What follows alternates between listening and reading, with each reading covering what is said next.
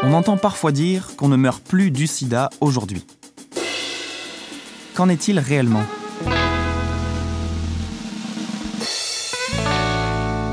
Allons voir les chiffres.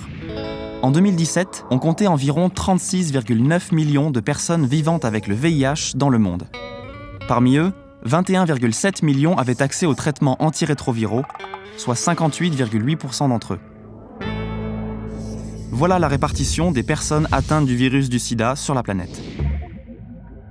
5,2 millions en Asie et dans le Pacifique, 1,8 million en Amérique latine, 310 000 dans les Caraïbes, 2,2 millions en Europe occidentale, Europe centrale et Amérique du Nord, 1,4 million en Europe de l'Est et en Asie centrale, 220 000 au Moyen-Orient et en Afrique du Nord, 6,1 millions en Afrique de l'Ouest et du Centre, et 19,6 millions en Afrique de l'Est et du Sud.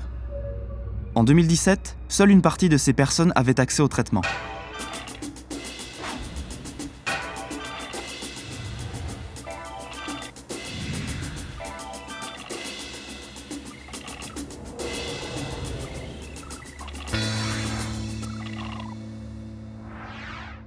Entre 2004 et 2017, L'amélioration des soins et de leur accès ont permis une diminution de 51% de la mortalité.